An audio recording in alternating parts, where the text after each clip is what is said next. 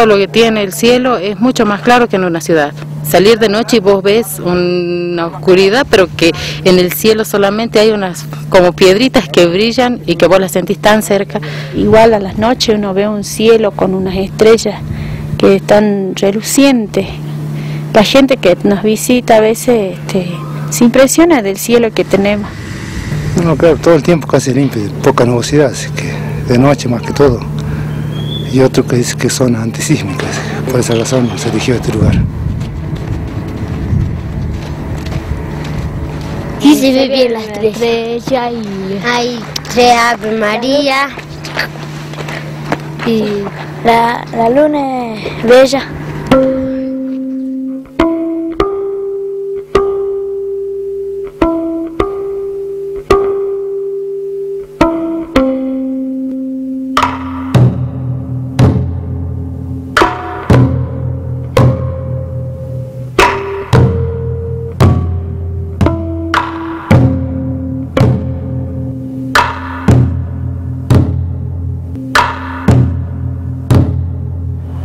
Estamos en la cúpula del telescopio ecuatorial de Córdoba, instalado aquí cuando no había ni aviones ni autos, en una Córdoba muy anterior a la época industrial, una, una, Córdoba que se insinuaba como un gran centro, pero era en realidad poco más que un pueblo, 1870.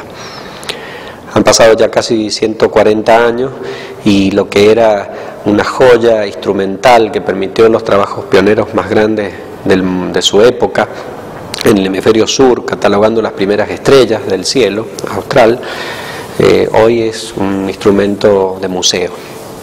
Nosotros ahora estamos empezando una etapa que quizás pueda compararse con la que en 1870 hicieron estos pioneros astrónomos que vinieron a instalarse por estas tierras, astrónomos norteamericanos, y nosotros estamos eh, iniciando lo que puede llegar a ser un gran centro astronómico en la Argentina, en la provincia de Salta, en una zona muy inhóspita que nos parece tremendamente alejada, como le debe haber parecido en 1870 a la gente esta que vino a trabajar en aquella época acá, cuando Córdoba tenía una tradición nula en investigación científica.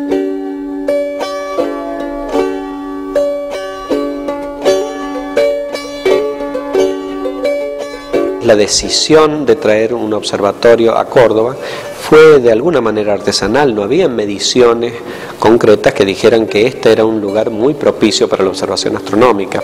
Tiempos han cambiado y las cosas no se resuelven eh, con decisiones así eh, más improvisadas o un poco más artesanales en el sentido de menos conocimiento y nosotros, eh, digo nosotros como la comunidad astronómica internacional, debe buscar los mejores sitios del mundo para la observación, para instalar allí lo que sería el equivalente de aquellas épocas a estos instrumentos. Entonces, ese cordón Macón, que es nuestro sitio candidato, está prácticamente aislado de todo, de toda la civilización, salvo un pueblito que resistió los embates del destino, un pueblito de algo más de 100 habitantes, Tolar Grande. Allí tendríamos que ir para ver lo que estamos haciendo y lo que puede llegar a ser el observatorio más grande del mundo.